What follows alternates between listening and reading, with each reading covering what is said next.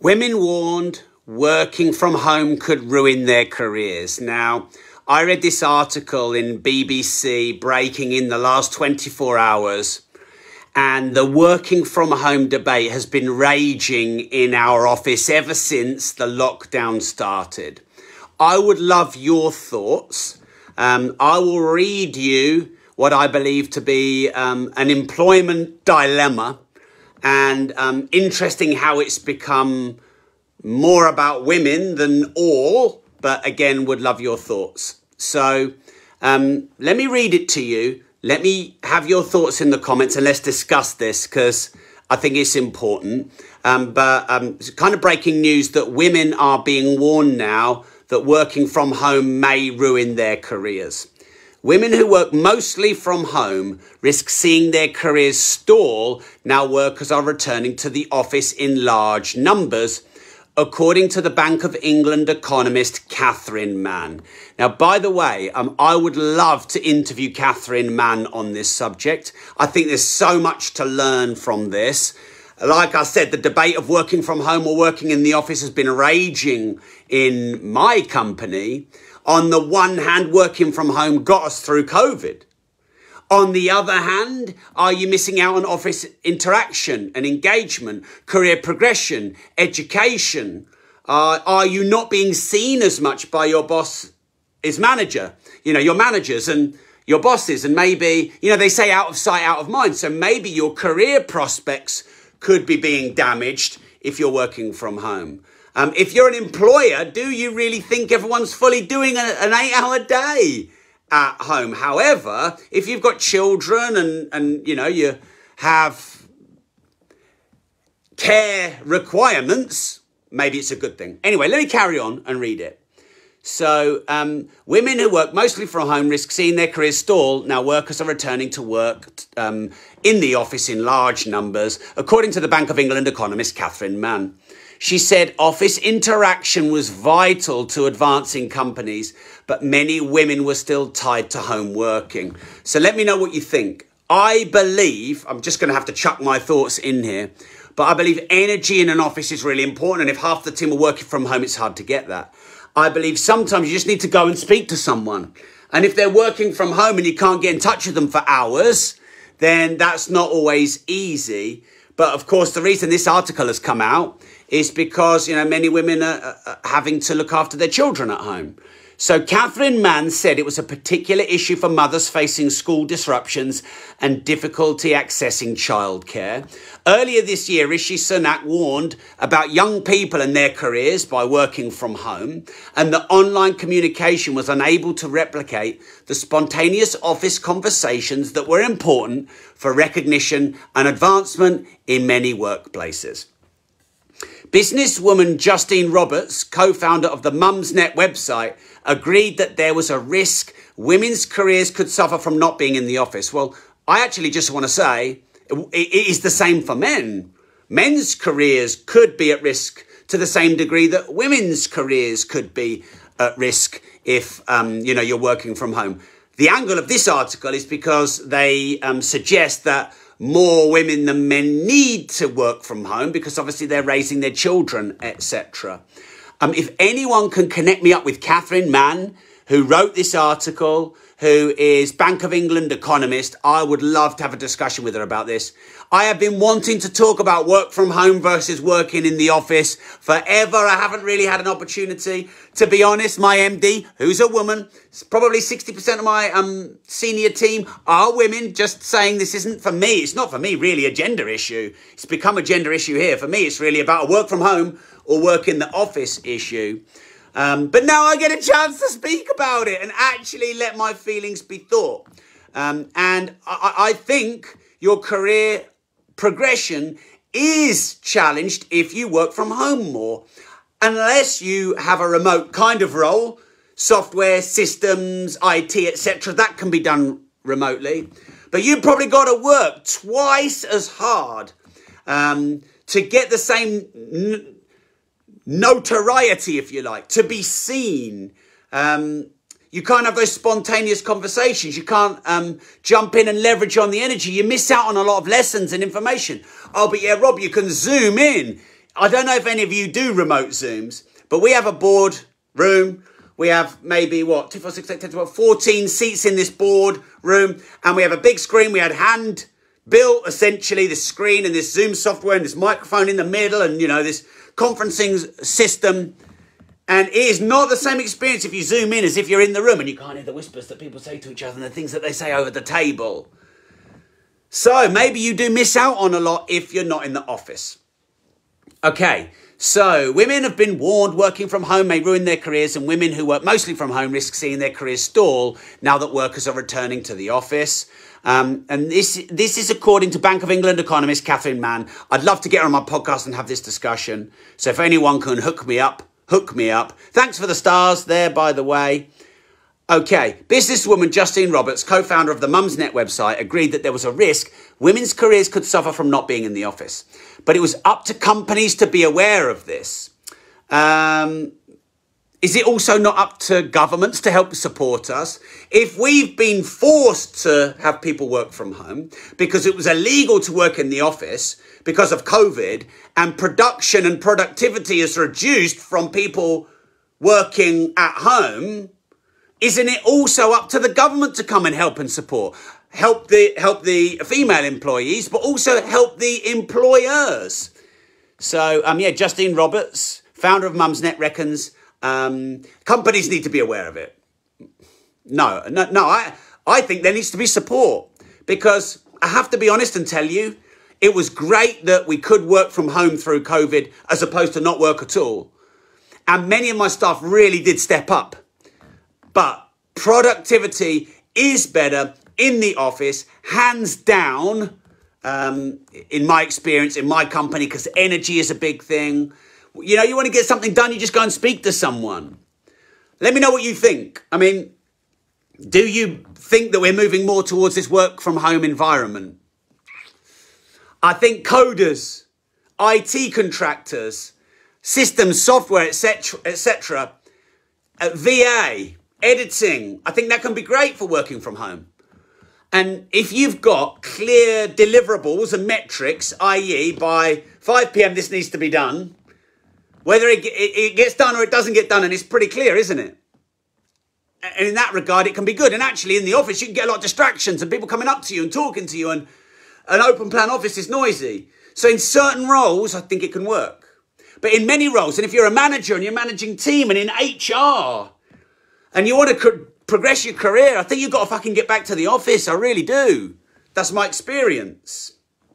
All right, so let's not forget that the one best, one of the best things to come out of the pandemic is the ability to work flexibly, especially for mothers juggling childcare and school runs. So I think the government need to help us. Yes, companies can say, for example, we allow all of our mothers and fathers, but it's mostly mothers, to come into work after they've dropped their kids off from school and to pick their kids up and work around being fairly flexible. And I think that that's a good thing to do, things like that. But, you know, we probably need more support if, in reality, someone who's got to care for their children can do a 30 hour week, not a 40 or a 45 hour week. And I think the government have got to take some responsibility for this. Let me know what you think in the comments, by the way.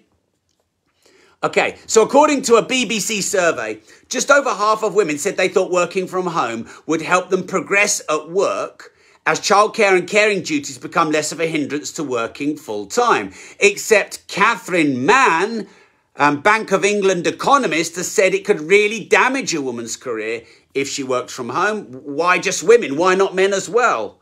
Um, okay.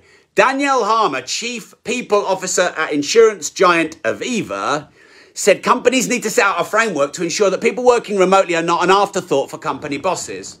Otherwise, she said, career prospects and gender pay gap would suffer. Now, this actually pisses me off this bit. Let me say that again. Danielle Harmer, Chief People Officer at insurance giant Aviva, said companies need to set out a framework to ensure that people working remotely are not an afterthought for company bosses. People working from home need to make sure that they deliver results. They need to be responsible for their own career. They are being employed by the employer. Twice here, the onus is put on the employer. What about on the government? What about support? What about education? What about the employee wanting to do a good job and deliver a good result. So, yeah. She goes on to say, Danielle Harmer, Chief People Officer at Aviva.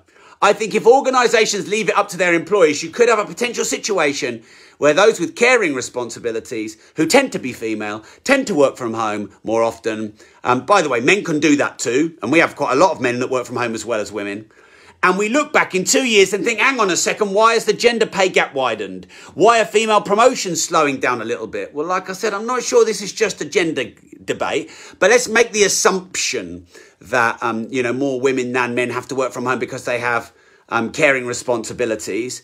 I do agree that um, visibility could be less in the office if they're working from home, their home.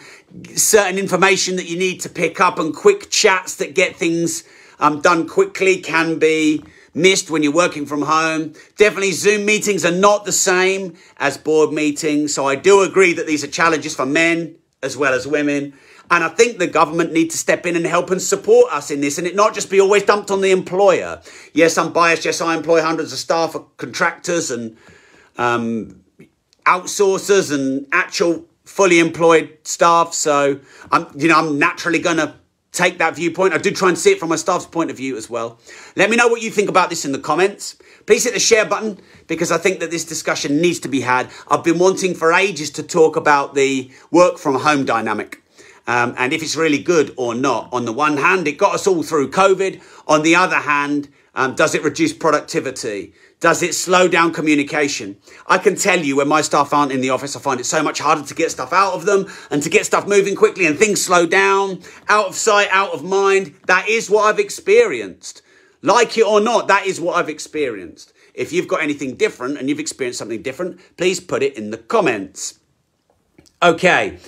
Vincent uh, Keaveney, partner at the law firm DLA Piper and Lord Mayor of London, told the BBC's Today programme that he thought it was important for younger members in the sector to be in the office in order to get the training they needed.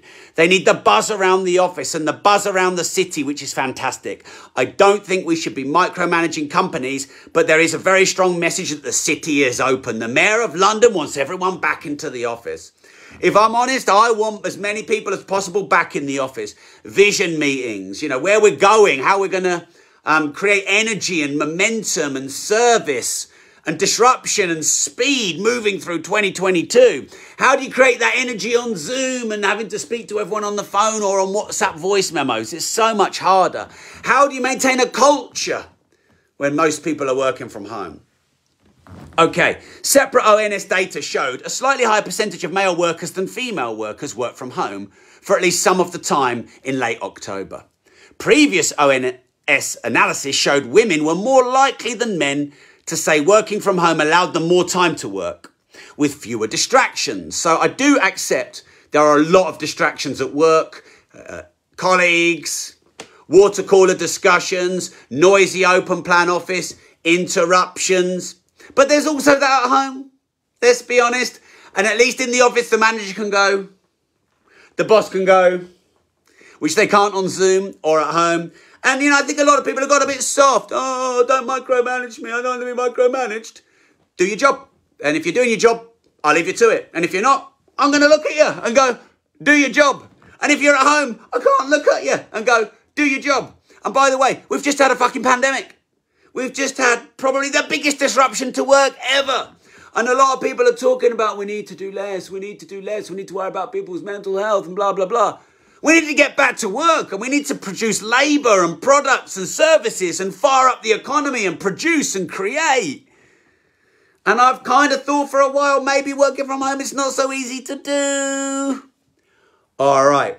Okay, but men said working from home helped them come up with new ideas while women found it a hindrance. So let me summarize what's going on here in this announcement. Let me know what you think in the comments. Uh, and please share this because this is definitely a discussion we need to have as employees and employers, as entrepreneurs and as workers, because we're in disruptive times now when it comes to work and getting back to productivity and efficiency and firing up the economy and making companies profitable again and getting you earning your good wages or good profits. And a lot of people are talking about everything but doing work. Get back to work and do work. All right. So women have been warned that working from home may ruin their careers. Women who mostly work from home risk seeing their careers stall. Now workers are returning to the office in large numbers. According to the Bank of England economist Catherine Mann, if any of you can connect me with Catherine Mann, I would love to speak to her and have a discussion on this. I think it's a fascinating topic that needs to be discussed more. Please hit the share button um, and let's get a discussion going in the comments. She said office interaction was vital to advancing companies. I'd be inclined to agree. But many women were still tied to home working, as are many men. Um, Ms Mann said it was a particular issue for mothers facing school disruptions and difficulty accessing childcare. I definitely agree with that, and we need education and support from the government on that. Everyone just defaults to going, oh, it's the employer's responsibility. The employer do this. Give them this time. Give them this support. Give them this pay. But the, the government needs to step up and help here as well, I believe, anyway. Earlier this year, Rishi Sunak warned about young people's careers, and the online communication was unable to replicate the spontaneous office conversations um, that are important for recognition and advancement in many workplaces. So, actually, advancing a career or being a manager or having managerial responsibility, they are saying is harder working from home than in the office. Um, someone has said, is surely the hybrid approach works best for both parties. We're actually in this position now, Mike. So we've got our SEO, some of our digital team, some of our media team, some of our marketing team. We've got, uh, you know, some of our team working from home. We've got some of them on rotation, so they do shifts at home, shifts in the office. And it's, I guess it's kind of like a trial for us. Not something we've done before. I can tell you this though, Mike, for a fact, as an owner of a company, one office I have has 75 staff in it. And when I come in and 40 of them are at home and there's no energy in the office, and you can't speak to the person you want to speak to because they're not there, and they don't get the connections and the discussions and the ideas, that is detrimental for the, the speed of productivity for sure. Okay, so let me know what you think in the comments.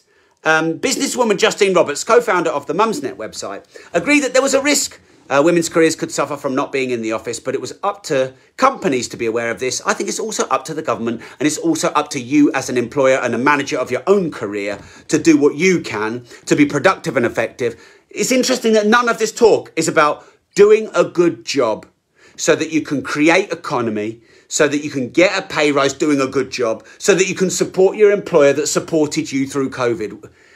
Employers always get the fucking bad rap. Jeez.